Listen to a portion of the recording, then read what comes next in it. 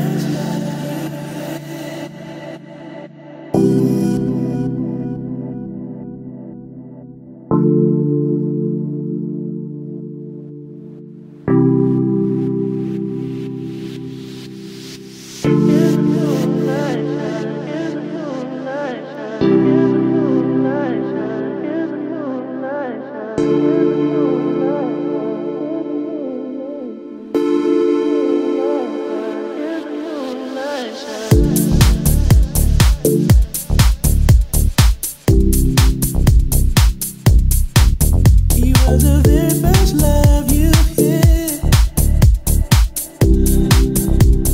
I'm Nathan D'Amour and welcome to an insight into one of my shoots.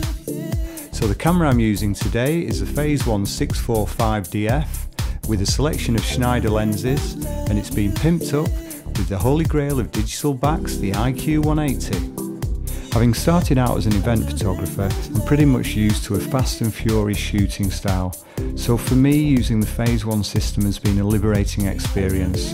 It's helped me slow down and think about my shots more. In a way it's helped me savour the moments of capturing the image, and even the shutter noises to die for. Now down to the IQ 180. I've got to say the quality and detail of the captured images is insanely ridiculous. It's just outstanding. The colour is neutral and the skin tones are alive.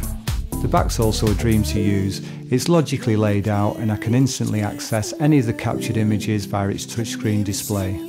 This has its benefits as I can involve the model and the team and show them any great captured images and of course this boosts confidence and morale during the shoot. So I'm shooting tethered directly into Capture One Pro and I instantly realised because of the quality of the capture that I can distance myself from the model and afford to lose what, up to 60% of the image and still retain a really high quality image. This was great because I was able to get into a bit of creative cropping during the actual shoot process. So it's been a pleasure using the Phase One system and for me the IQ 180 is the way forward.